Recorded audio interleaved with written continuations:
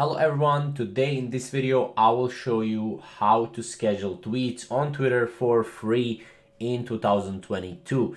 So as you can see, you need to first be logged in into your Twitter account that you want to schedule tweets on, right?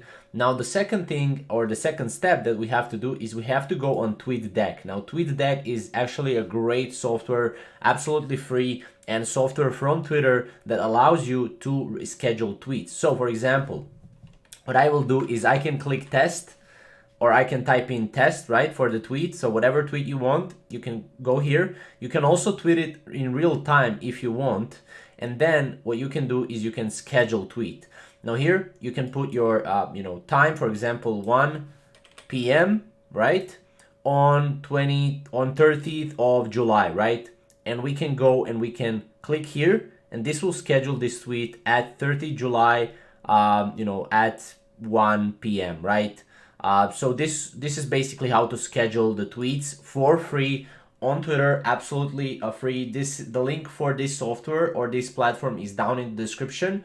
Uh, and yeah, the only thing you can schedule here is threads. You can schedule threads, but you can schedule tweets. So keep that in mind. Thank you guys for watching, and we'll see you in the next video.